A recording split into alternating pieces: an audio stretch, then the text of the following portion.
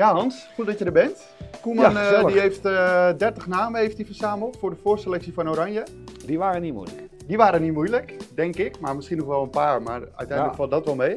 Alleen hij moeten nu natuurlijk, eh, meestal 25 maken ze ervan, dus er Ja. moeten er nog een paar afvallen. Quinten Timber, die Ja. er voor het eerst bij zit, Ja. die zei al bij Milan, bij het interview na de wedstrijd eh, tegen PSV, zei hij van, leuk dat ik erbij zit, maar ik wil nu natuurlijk wel bij de definitieve selectie zitten. Eh, ja, mooi. Eh, ik ben er blij mee, maar het is de eerste stap en ik hoop dat ik erbij kan zitten.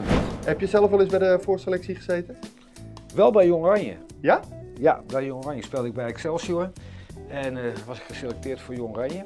En in die tijd, als je geschorst raakte het weekend voor eh, Jong Oranje zou spelen op woensdag. Ik was geselecteerd voor Jong Nederland, eh, Jong Oranje tegen Jong Frankrijk. Ja. Pakte ik een rode kaart uit bij, bij Twente. En eh, dat was niet zo slim. Is je wel eens vaker overkomen, volgens mij. Heel toevallig wel eens. maar we gaan verder. We gaan verder. Ja, laten we beginnen bij de, bij de keepers. Ja. Want er zitten nu vier keepers eh, in de voorselectie. Vier keepers die het allemaal goed doen.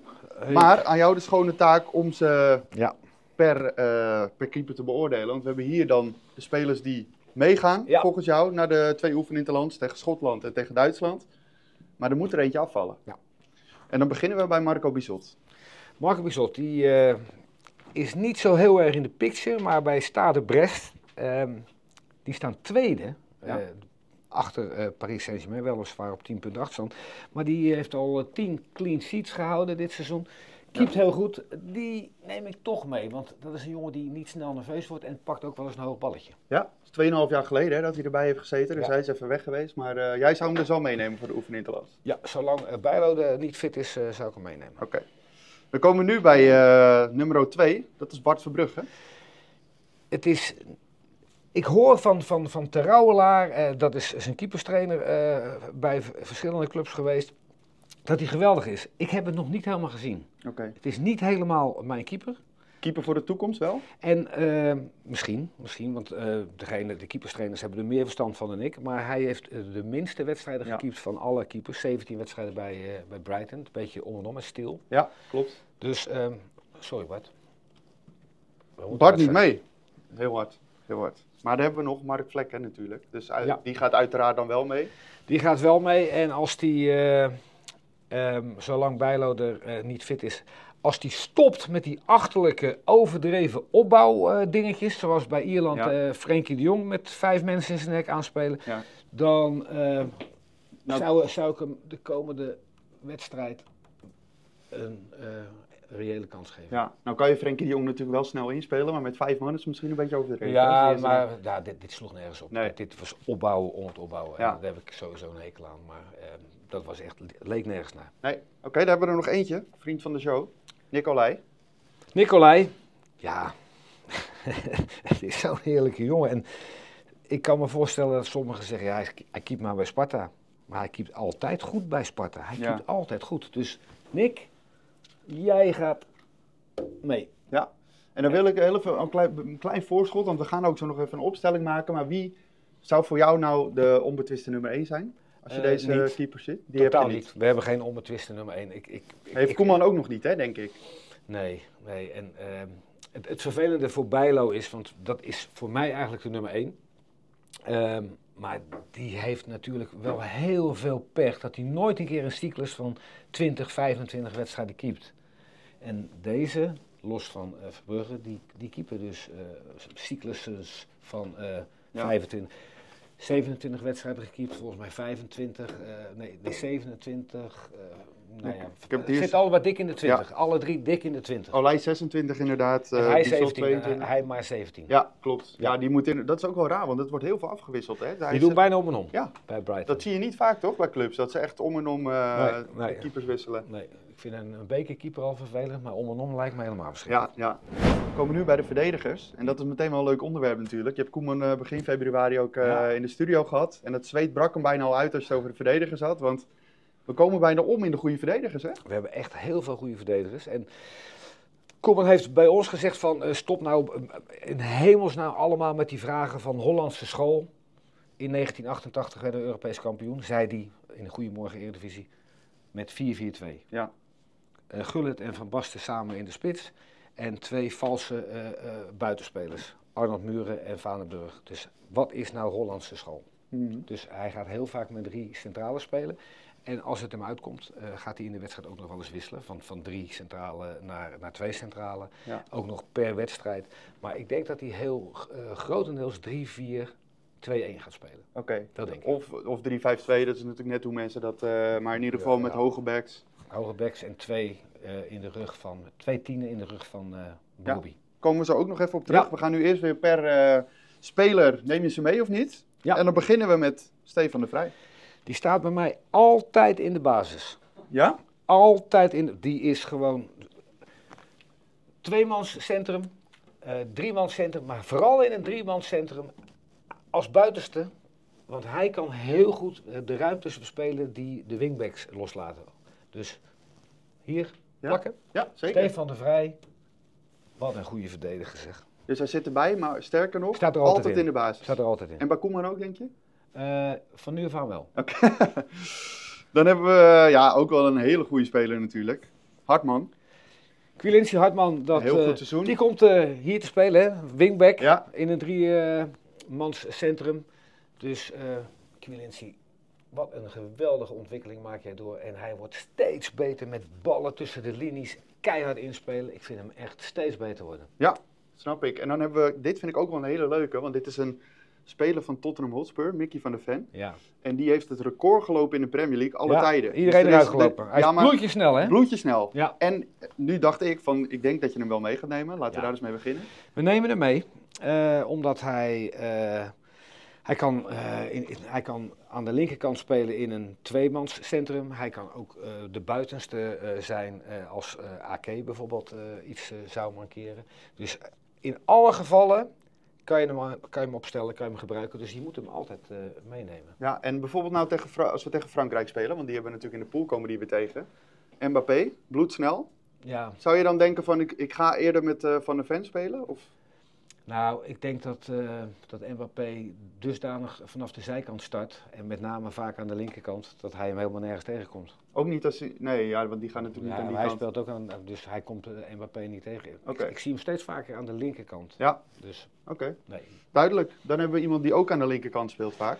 Nathan Ake. Oké, speelt niet alles, maar als hij speelt, doet hij het echt fabuleus goed. Dus Ja. die. eh, In oranje ook altijd stabiel hè, eigenlijk. Die heeft nooit ja, onvoldoende. Dus, dus dat wordt mijn eh, buitenste eh, linker centrale. Ja, duidelijk.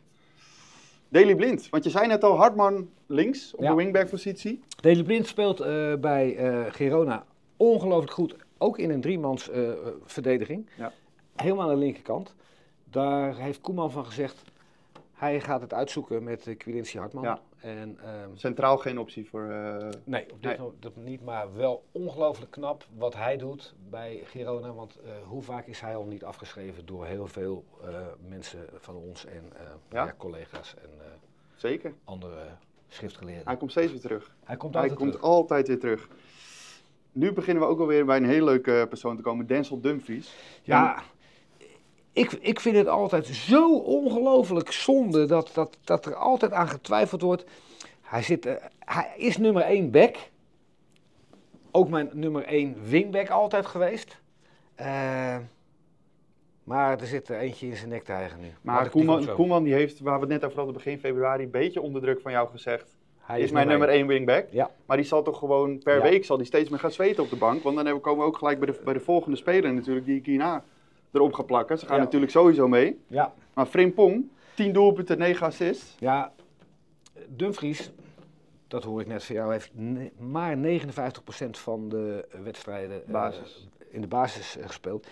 Frimpong, jezus, is ongelooflijk. 10 goals als wingback bij Leverkusen en 9 assists. Ja. Is bij 19 goals betrokken. Ja. Dus ja, je kan daar bijna niet omheen als je eh, met, met wingbacks speelt. Ehm, nou vecht hij zich altijd wel weer terug hoor. Of hij Mm. geeft hem een beuk op de training. dus eh, dat, daar- hou ik ook wel van. Maar eh Frimpong, ja, daar kan je bijna, daar kan je ja, sowieso in de selectie niet Wordt omheen. dit het grootste hoofdpijndossier voor Koeman, denk je? Die wingback-positie? Het, nee, het grootste hoofdpijndossier wordt welke twee achter Bobby gaan spelen als Bobby speelt. Oké, komen we zo ook weer op. Geert Ruida. Geert Ruida. Ehm, bij Feyenoord eh, net zo goed als centrale verdediger en als inschuivende eh, rechtervleugelverdediger. Ehm, echt een zonnetje, speelt als een zonnetje bij, eh, bij Feyenoord. Maar in het Nederlands elftal even een paar minder wedstrijdjes gehad, dat kan. Maar die moeten absoluut bij. Ja. Heerlijke speler om eh, op twee verschillende posities heel goed te kunnen gebruiken. Absoluut. Nou, dit lijkt me ook geen discussie. Nee, ze- eh, ze gaan hij gaat steeds meer complimenten krijgen. Hè? Ja, ja, zeker. Nou, dat is wel leuk dat je dat zegt. Dat viel ons ook wel. Want hij is natuurlijk wel gewoon bekritiseerd geweest een hele lange periode. Ja, hij heeft eventjes na zijn eh, b- kruisbandblessure, dacht ik, hè? kruisband, Eh, ja, een ja. paar jaar geleden, Ja, heeft hij best wel een beetje eh, moeten, moeten wennen om weer het echte topniveau te halen. Ja. Eventjes het gevoel in, in zijn rug en toen werd hij wat, wat vaker uitgespeeld, maar het is nu weer gewoon eh, de veldheer. Ja, En, en, Maakt belangrijke doelpunten ook weer. Ja. Winnende gemaakt in de... geweldig spelen. En dan hebben we nog Matthijs de Ligt natuurlijk. Ja, Die ook wisselvallig eh, wel niet spelen bij Bayern. Hij, het blijft toch niet een onbetwiste basisspeler. Hij was weer heel erg goed eh, met, eh, met Bayern eh, midweeks in de, in de Champions League. Ehm, tegen Lazio, dacht ik. Ja. Heb je, ik heb die hele wedstrijd gezien. Hij is gewoon heel goed in een tweemanscentrum. Maar hij moet, hij moet de, de, de dekking hebben van een echte back naast Ja. hem. Hij voelt zich heel onbehagelijk in de ruimtes die een wingback laat. Ja. Dus Dus hij, hij wordt het slachtoffer van het systeem wat ze willen gaan en de spelen. Vrij met drie eh, centrale verdedigers aan de rechterkant is heel comfortabel om in de rug van een keer te komen in ruimtes. Ja. Wat hij niet heeft. Ook mee. Dus de verdedigers hoeven zich geen zorgen te maken. ik heb de indruk eh, dat er best een paar geblesseerd kunnen raken. En dan eh, slaapt eh, Ronald prima. Ja, toch? We hebben 21 verdedigers nu. En dan hebben we nog één klein dingetje, want Jurien Timber, die kan er ook nog zomaar bij komen. Als hij op tijd fit is. Ja. Of hou je daar geen rekening mee? Eh, nou ja, als, als hij fit is, dan gaat wel iemand afvallen. Oké. Maar Ook zonder Laat- laat- wedstrijdritme. Maar die we Ja, die, hij, moet wel een, hij moet wel een wedstrijdje of tien gespeeld hebben. En dan moet hij heel hard opschieten. Dus ik denk dat het net, net eventjes te vroeg voor hem is. Ja. En hij wordt er ook niet nerveus van, want hij is zo ongelooflijk blij, hoor ik van zijn moeder. Die sprak ik onlangs, dat hij weer helemaal op het trainingsveld staat. Dus, Ja. Ja. Komen we aan bij de middenvelders. ja. Dat, eh, ja, dat zijn ook weer eh, heel veel goede spelers natuurlijk. Wat een gedoe eh, om de, de, de, de, eh, de maat, hè, dat is een raar woord, de maat, Ja, de rechter middenvelder naast Frenkie te vinden. ja. ja daar komen ze maar niet uit. Het, we hebben zoveel, we hebben zoveel mogelijkheden. Ja. Nou ga ik er wel vast eentje doen, want we hebben het net over Frenkie. Ja. Die nemen we uiteraard niet mee. Nee, Nee. die is geblesseerd. Ja, die is geblesseerd. Die, is, die is geblesseerd. Dus die, Ja, eh, die gaat doet niet mee tegen eh, Schotland en Duitsland. Nee, maar we gaan ervan uit dat hij bij het, op het EK natuurlijk gewoon speelt. Ja, tuurlijk. Dus dan komen we sowieso bij de volgende, dat is Jerry Schouten. Ja, eh, zou ik heel graag eh, een keer willen zien. eh, rechts op middenveld tegen sowieso Schotland. En dan hoop ik dat hij helemaal de vrijheid in zijn hoofd heeft die hij heeft bij, bij PSV. Ja. Als centrale verdediger, als zeer betrouwbare, vaste rechter middenvelder. Ik, ik hoop dat hij de kans krijgt. En, dus ja, hij gaat sowieso mee. Wel mee, dan moet hij daar. Hè? Oh, dat is. Moet hij daar. Ja. Schouten mee. Ja, en dan, dat hij dan de brutaliteit heeft aan de bal die hij bij PSV heeft. De betrouwbaarheid eh, die hij bij PSV heeft, dat zag je in die laatste in Interland wel wat minder. Hè, je bij merkte aan hem dat hij, dat, hij, dat hij toch in een andere omgeving was en eventjes moest wennen. Maar hij past zich heel snel aan. Dus ik, eh, ik, ik zou dat heel graag willen zien. Dan is dit eh, degene die eh Frenkie de Jong gaat eh, vervangen, denk ik, Ja. in de positie in de oefening. Ja, dit vindt hij misschien vervelend dat Frenkie er niet is. Want dan kan, kunnen ze niet proberen, Frenkie en Joey Veerman. Maar ik vind Joey Veerman met zijn rechterbeen als linker middenvelder beter dan als rechter middenvelder. Ja, dat, dat is misschien heel raar, maar Ja. ik, vind, ik vind het een geweldige linker midden. Dus hij is gewoon, als er iets met Frenkie gebeurt, is hij gewoon de man. En, maar jij zegt wel, eh, hij speelt nu omdat Frenkie niet speelt. Maar als Frenkie terugkomt, is Ja, Frenkie en is- Joey samen wordt geen... eh, Ik, ik, ik denk dat ik zo meteen de commie heb. Oké, heel leuk. Ik denk niet dat dit hem is, maar toch wel weer verrassend dat hij erbij zit, zou ik zeggen. Ja, ik snap niet zo goed. Ik heb mensen, Wijnaldum? ik heb mensen om mij heen die boos worden. En Ja? die, die, die- ik, ik, ik stond eh eergisteren bij een benzinepomp en er komt iemand naar me toe. Het is toch ongelooflijk, Hans, dat de Wijnaldum er weer bij zit. Ik zeg, waarom is het ongelooflijk? En ook hier op de, op, eh, in, in Ja. het ESPN-gebouw hoor ik wel eens echt Maar ze worden boos op jou. Nee, niet op mij. dus je gaat hem niet meenemen dan, dan ben je van het gezeik af. Nee, nee, ze worden niet boos op mij. Ze, ze, zeggen, ze zijn boos op Koeman. Dat hij hem... Maar er zijn maar weinig eh, nummers 10 die gewoon eh, diepte hebben. Die echt... Til heeft diepte, maar die zit er niet bij. En hij heeft diepte. En Koeman die is gewoon loyaal. Hij is bij 70% van de goals betrokken geweest samen met Depay in de vorige periode van Mm. Koeman. Eh, toen, toen hij 20 wedstrijden bondscoach was. Hij wil gewoon zien of hij de fitheid heeft. En dan eh, kan het zomaar zijn dat hij, van Dat waarde ik- kan zijn. dat hij absoluut van waarde kan zijn. Dus ik ben niet boos op mensen die boos op Koeman zijn. Maar ja, en wat maakt mij het verder uit of mensen boos zijn? Ik vind hem gewoon een hele frisse, goede speler. Ja, zeker. Komen we bij Quinten Timber, de debutant. Ja, die ehm, ja, is ook het beste met zijn rechterbeen eh, aan de linkerkant. Maar eh, hij zou wel een combi kunnen zijn ehm, naast Frenkie. Want Frenkie is een ophaler en een dribbelaar. En daar is, het is wel lekker als daar ook iemand... Dus hij is wel een, een, een optie om, om, om mee te gaan. Maar gaat toch nog even niet starten. Oké. Martin de Roon. Martin de Roon. Ongelooflijk eh, knap dat jij vijf, vier, vijf, zes jaar alles, ik, ja, alles speelt bij Atalanta. Dan ben je absoluut geen koekenbakker. Maar ik denk dat naast Frenkie dat we iets, ook tegen goede landen, dat we iets meer eh, diepgang en iets meer voetbal eh, mogen hebben. Ja. Maar ik heb ontzettend veel respect voor zijn carrière. Wel mee. Wel mee. Eh, niet mee. Niet mee. Wat een carrière. Zeker, daar kunnen we zeker respect voor Wat hebben. een carrière. En hopen dat hij ook zo'n mooie eh, carrière, of misschien nog wel mooi hè, Mats Wiever? Mats Wiever. Goh. Jij bent fan van hem hè? Ja, groot fan. En ehm, ik vind het ook zo mooi dat hij altijd, altijd zo verontwaardigd is. Als hij gewoon één verkeerd dingetje doet, dat hij gewoon zo chagrijnig op zichzelf is. Ja. Hij zou het liefst aan een spiegel in het veld voorgaan. Lul, Ja. zou hij dan tegen zichzelf Eh, eh, ja. Maar wat een heerlijke speler. En hij wordt ook steeds beter. Hij. Ook in de, in de diepgang. Hij heeft in het begin van het seizoen natuurlijk dat hardop uitgesproken hè? Dat hij zichzelf dat gewoon zo kwalijk nam en dat hij zo slecht speelde. Ja, maar hij- misschien wel een beetje door. Het, ik hou wel van zelfkritische spelers, maar niet overdrijven. Nee, precies. Nou, dan komen we bij Reinders. Dat is natuurlijk ook wel een hele interessante optie hè? Ja, Milan. Reiner speelt bij Milan, ik, ik volg hem goed, eh, op 10 wel eens. Als als een van de twee controleurs speelt hij de laatste tijd wat vaker. En dan mag hij gaan. Dan mag hij gaan. Ja.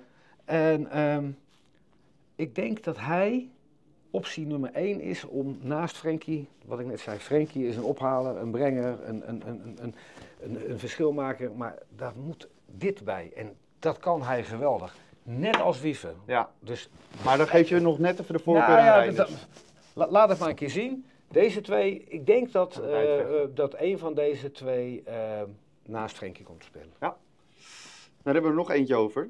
Die het ook niet heel slecht doet eh, in Italië. Teun Koopmeiners. Teun, eh, ik, ik moet een speler gaan laten afvallen voor wie 50, 55 miljoen geboden gaat worden. Waarschijnlijk door de experts die er verstand van hebben in Italië. Juventus wil hem hebben. Hij doet het goed als tien, hij doet het goed als, eh, als halve tien. Eh, alleen Nederlands elftal heeft hij net niet. Heeft hij net niet de, Wat hij Ja, wel heeft in wat, Italië. wat hij daar niet heeft. Dus sorry, eh ik, Teun. ik, ik hoop niet dat ze het zien in Italië dan dit. Nee, ik hoop dat Teun het ook niet ziet. Ja, aanvallers. En ja, wat, we hadden het eh daarnet ook al een beetje over. Het is een tijdje een beetje karig geweest eh, voorin bij Oranje. Maar de laatste tijd eh, steeds meer aanvallers die in vorm komen. Ja. Dus ook dit zijn wel lastige keuzes, denk ik. Toch? Ik dacht altijd dat het het mooiste baantje was van het westelijk halfrond. Ja. Bondscoach van Nederland. Het is best pittig, hè? Ja, hè? Maar we gaan de keuzes maken. We gaan de keuzes maken. Dan beginnen we met eh, Simons. Xavi Simons, ik heb hem weer eh, gezien tegen Real Madrid. Echt, daar zit een, er zit een versnelling in, er zit een brutaliteit in. En hij speelt vrij vanaf eh, links bij eh, Leipzig, ook wel eens vrij vanaf rechts. Ja. En ehm, nou ja, Koeman gaat dus waarschijnlijk met een diepe en twee eromheen. Hij moet alleen eventjes, wat de Schouten eh, ook heeft, eh, hij moet eigenlijk die ballast van zijn van zijn rug laten Ja. vallen. Huppatee, Ronald valt ook eh, naar beneden. Ronald valt rustig, rustig. eh. Ja. Hij kan zo goed voetballen als hij het- als hij zijn, zijn hoofd helemaal eh, ontspannen heeft. Ja. Denk je dat een doelpuntje daarbij gaat helpen misschien? Dat gaat ook helpen. Ja. Maar hij was tegen Real Madrid zo goed. Ja. Zo goed. Ja, dus die is ook gewoon uh, ogen dicht en meenemen Ja, natuurlijk. Ja. Deze ook, denk ik. Brian Brobby. Brian Robbie. Ja, Hoppa. Brian Robbie.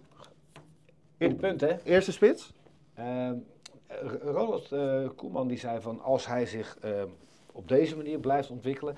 En na de uitzending van Goedemorgen hebben we ook nog een uur gezeten.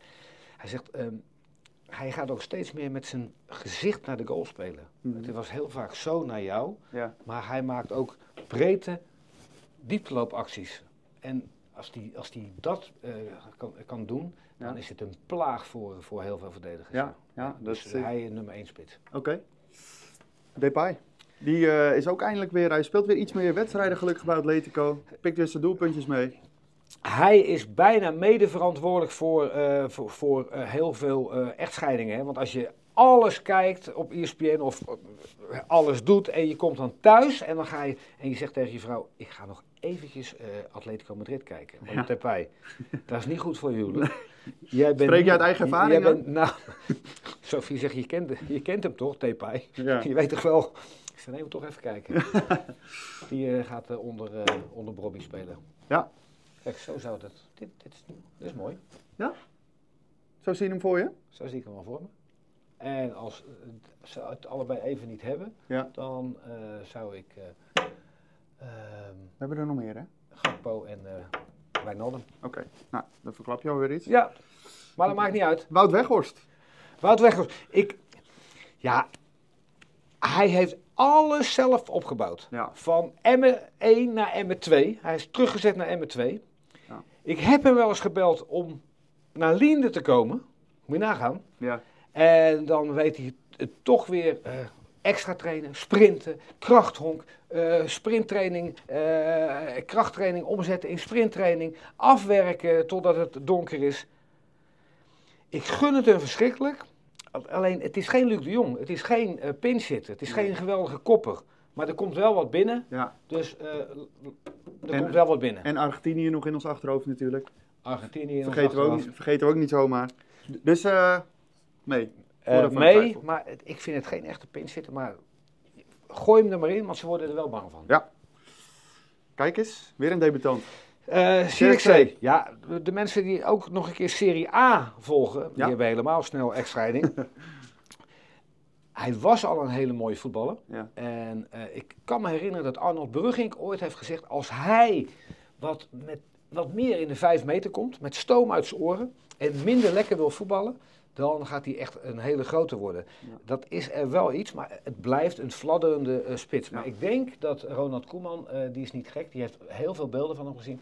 Als er iets met eh Bobby is, dat hij eh, de centrumspits wordt. Koeman zei dat zelf ook, hè? Die zei van, ik heb hem in actie gezien, hij komt hem nog heel vaak ophalen en ik wil eigenlijk gewoon dat hij, dat hij iets meer in die, Ja, in die en, 16 en kan als je dat tegen hem zegt, dan gaat hij dat heus wel doen. Ja. Dus, eh, maar het is een hele mooie voetballer die...